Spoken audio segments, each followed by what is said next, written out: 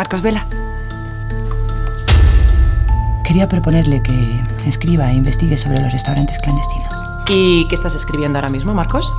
Restaurantes clandestinos. Lo que se comen ellos. El que van a degustar es un ejemplar de fugu tigre salvaje. El más venenoso que existe.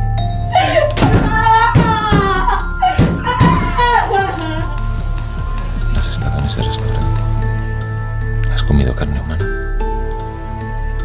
Había oído algo, pero pensé que eran rumores, una leyenda urbana. Tengo una invitación. Terminaré la investigación, escribiré el reportaje. Pero no participaré en ningún menú de caníbales. Vamos a ganar mucho dinero con esto. Señor Marcos Vela, Si desea seguir adelante, no hay marcha atrás. Es mi deber advertírselo. Bienvenido, señor Marcos Vela.